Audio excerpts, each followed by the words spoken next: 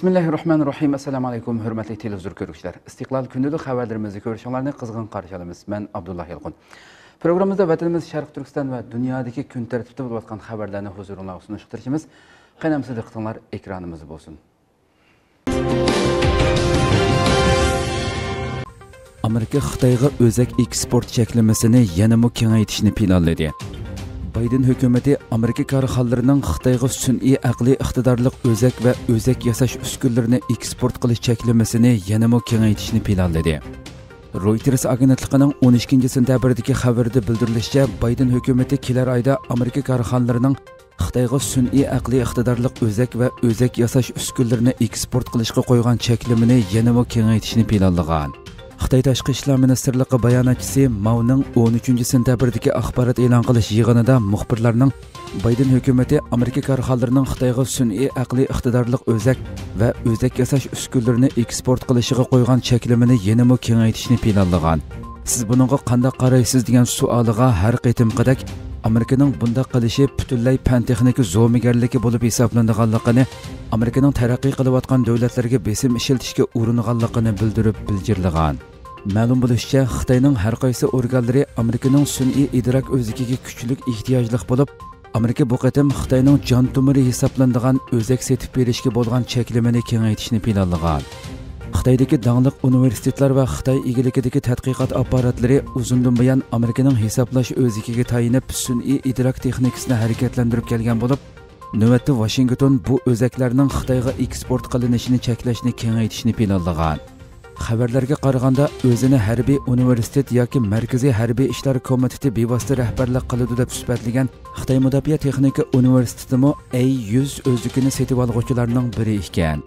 Dunyodagi eng kuchli darajadan tashqari kompyuterlarning biri bo'lgan tianxi ikki xitoy davlat mudofaa texnika universiteti 2015 yildan boshlab amerikaning qora tizimligiga kirgizilgan bo'lib davlat bexatarligi andisisi sababidan universitet darajadan tashqari kompyuterda ishlatiladigan intel bir taraf qilg'uchga erisholmagan reuters agentligining xabar qilishicha nvidia va amd qatorliq amerika shirkatlari ta'minlaydigan o'zakning kamchili bo'lishi xitoy organlarining surat va tovush farqlantirish qatorliq vazifalarni o'taydigan yuqori unumli hisoblash ishlarini qilishini to'sib qo'ygan bo'lishi mumkin ekan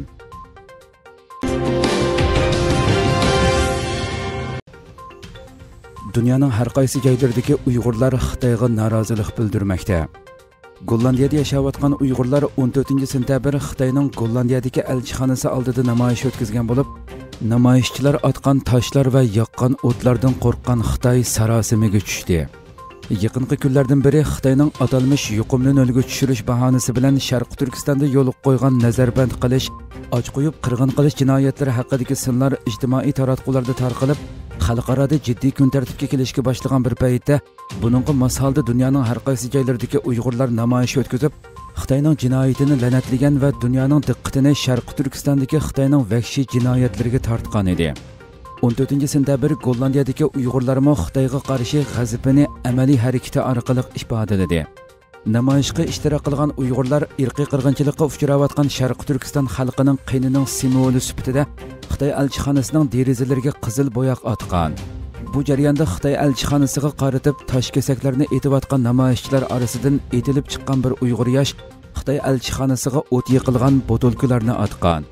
Natijada alchixonning hovlisidagi bir necha yerga tizli o't ketgan birdamdan keyin soqchilar uni elib ketgan va namoyishchilarni tarqitiyotgan soqchilar vaziyatni kontrol qilayotganda sarosimiga tushgan xitoy elchixona xodimlari darhol o't o'chirishga boshlagan.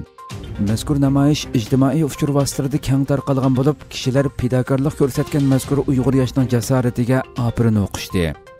14 sentabr yana istanbul va turkiyaning boshqa shaharlarida yashayotgan uyg'urlar anqaraga yig'ilib xitoyning sharqi turkistonda davom qilayotgan irqiy qirg'inchilik jinoyati hamda atalmish virus yuqumini nolga tushirish nomida och qo'yib qirg'in qilish jinoiy qilmishlariga norozilik bildirdi. Oldi bilan bdtning anqaradagi ishxonasi oldida namoyish va bayonot e'lon qilindi.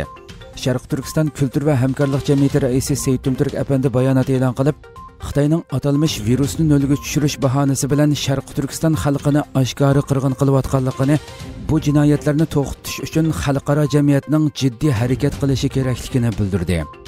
Oxirida bdt ishxonasiga vakil kirgizib xitoyning sharq turkistonda davom qilayotgan irqiy qirg'inchilik va insoniyatga qarshi jinoiy qilmishlar yozilgan maktubni ishxona mas'uliga sundi. Undan boshqa namoyishdan ilgari turkiya bexatarlik organlari namoyish qilish uchun ruxsat bergan bo'lsimi biroq namoyishchilar islom hamkorlik tashkilotining anqarada turishliq ishxonasiga berish davomida bexatarlik soqchilarining to'sqinligiga uchradi va oxirida namoyishchilar orasidan 30 vakil islom hamkorlik tashkiloti ishxonasi oldida bayonot e'lon qildi. Islom hamkorlik tashkiloti ishxonasi mas'ullari namoyishchilardan ikki vakilni qabul qilgan bo'lib vakillar xitoyning sharqi turkistonda davom qilayotgan irqiy qirg'inchilik va insoniyatga qarshi jinoiy qilmishlari yozilgan maktubni islom hamkorlik tashkiloti mas'uliga sungan.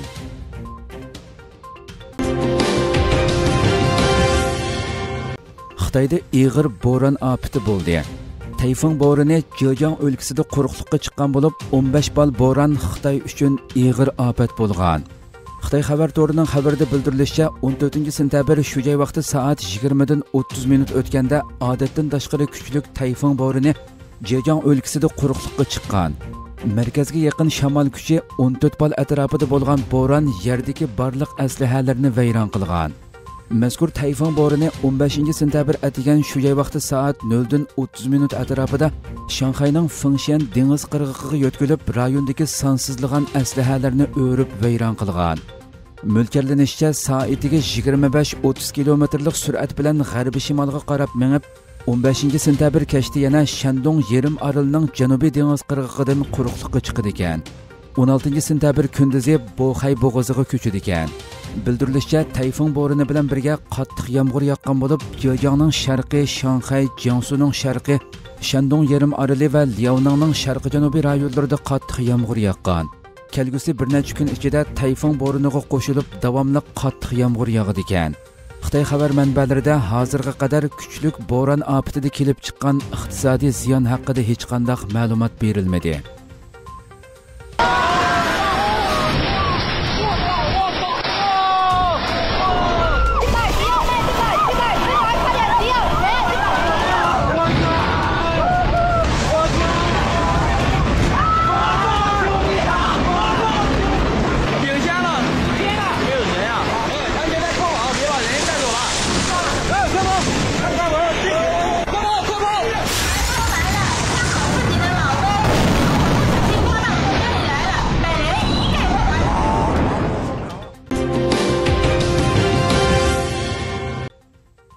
Yevropa komiteti majburiy emgak mahsulotlarini cheklash taklifini o'ttirg'a qo'ydi. Yevropa komiteti Yevropa ittifoqi bozoridagi barliq majburiy emgak mahsulotlarini cheklash haqidagi taklifni o'ttirg'a qo'ydi. Amerika ovozining xabarida bildirilishicha, Yevropa komiteti 14 sentabr Yevropa ittifoqi bozorida mavjud bo'lgan barliq majburiy emgak mahsulotlarini setishni cheklash tadbirini o'ttirg'a qo'ygan. Yevropa komitetining taklifi Yevropa ittifoqida iste'mol qilinayotgan va eksport qilish uchun ishlab chiqarilgan mahsulotlarni, shundaqla import qilingan barliq mahsulotlarni o'z ichiga oladi ekan. Ammo Yevropa ittifoqining taklifida majburiy amgak mahsulotlari bilan shug'ullanadigan konkret kasb yoki shirkatlar tilga ilinmagan.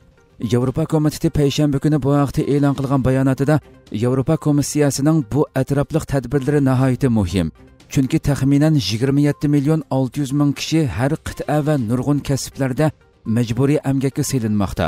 Ko'pincha majburiy amgak xususiy egilik sohasida yuz berayotgan bo'lsimi ammo majburiy amgak davlat tarafidan kuchaytirilmoqda deyilgan.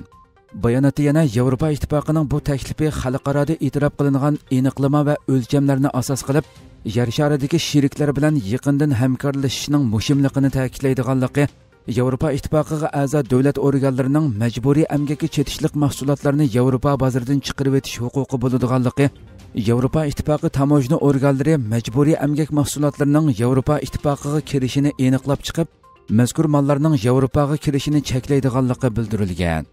Yevropa ittifoqi ijroiya komitetining muavin raisi va savdo vakili Valdis Dombroviskisning aytishicha, bu taklif dunyodagi millionlagan kishilarga ta'sir ko'rsatadigan zamonaviy qulluq tuzumni hal qilishda haqiqiy o'zgarish paydo qiladi ekan. qandoq bo'lishidan qat'iy nazar Yevropa ittifoqi bozoridan majburiy amgak mahsulotlari chiqarib tashlandi ekan. Yevropa komiteti e'lon qilgan bayonotida dastlabki bosqichda Yevropa ittifoqiga a'zo davlatlar o'xshamagan manbalardagi uchurlarga asosan majburiy amgakning xatrini baholab chiqadi. Bu balkim fuqarolar jamiyati ta'minlagan material alohida mahsulot va jo'grafiyalik rayonlarga markazlashgan majburiy amgak xavfi qatorliq sonliq ma'lumot ombiri va shirkatning o'zini tekshirish qatorliq materiallarni o'z ichiga oladi deyilgan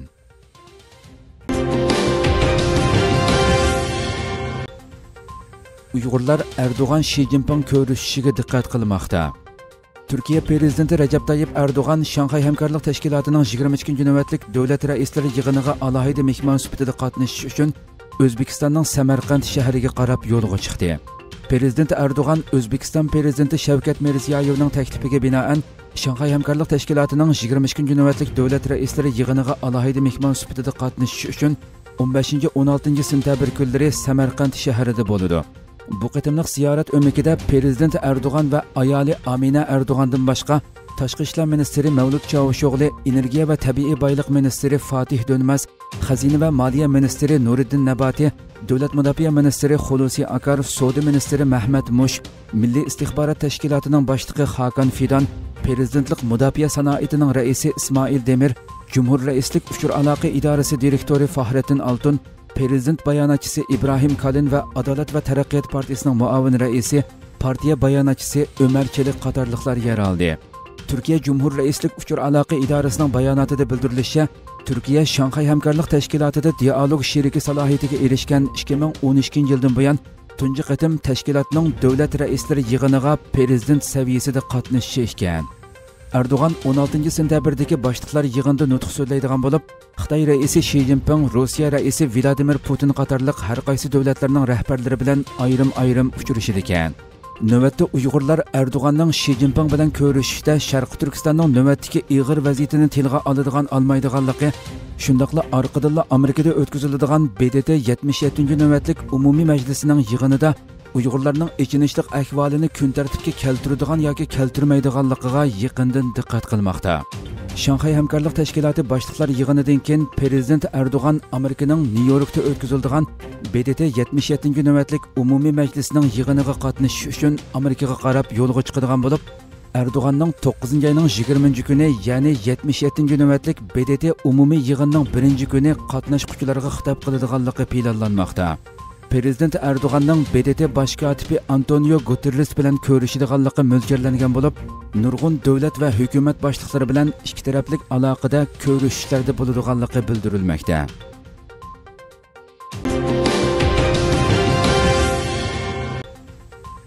ozarbayjon armeniya askarlarining jasadlarini topshirib berishga tayyor ekanligini bildirdi Azərbaycan Ermeniyanın ig'vogarchilik qilishi bilan boshlangan to'qinishlarda o'lgan taxminan 100 arman askarining jasadini topshirishga tayyor ekanligini bildirdi. Türkiye Avazı Radyosu xəbərdə bildirilmişcə, Azərbaycan əsirgə düşkən, yoxab getkən və görüge elib elinğan puxralar Dövlət Komiteti Ermeniya əskərlərinin cəsədlərini tapşırıb beriş doğrusuda bayanat elan qıldı.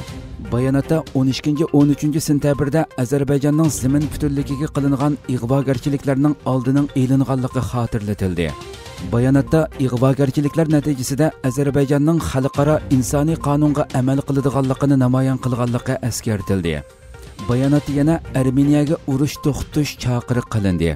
O'lgan taxminan 100 armeniya askarining jasadlarini qarshi tarafga topshirib berishning tayyor ekanligi bildirildi.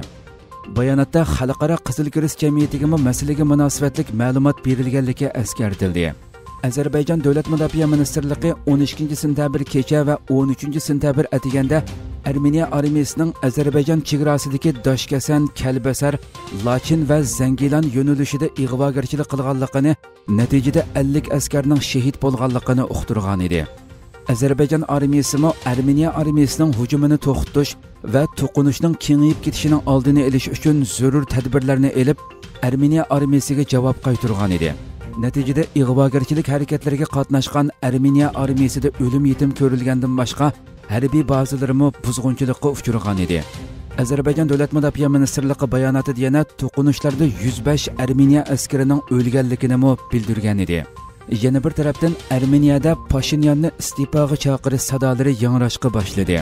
Ermeniyada aldınqı səbtə Azərbaycan bilan bolğan toqunuşlarda görülgən ölüm yetimlər səbəbindən 14-cü sentabr baş minister Nikol Paşinyanğa narazılıq bildirən namayişçilər parlament binası aldıda hökumətin istifa verişini tələb qılıb namayiş qıldı. Namayişçilər Nikol Paşinyanğa işənç avazı verilməsligini və hökumətin istifa verişini tələb qıldı. Namoyishchilar parlament binosining eshik derazalarini chiqishga urindi va pashinyanga qarshi shuar to'lab iste'foga chaqirdi.